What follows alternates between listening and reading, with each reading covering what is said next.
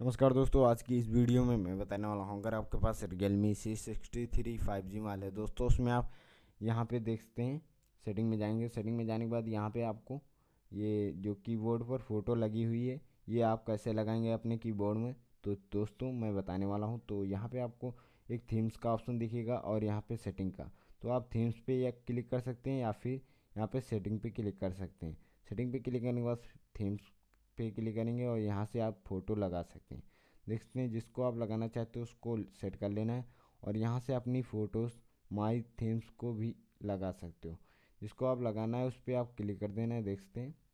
और ये अप्लाई कर देना है। अप्लाई करने के बाद सक्सेसफुली आपकी लग जाएगी। यहाँ पे देखेंगे तो चेंज मिलेगी। वीडियो पसंद आए तो वीडियो को लाइक कर देना, चैनल पहली बार हो चैनल को भी सब्सक्राइब कर लेना।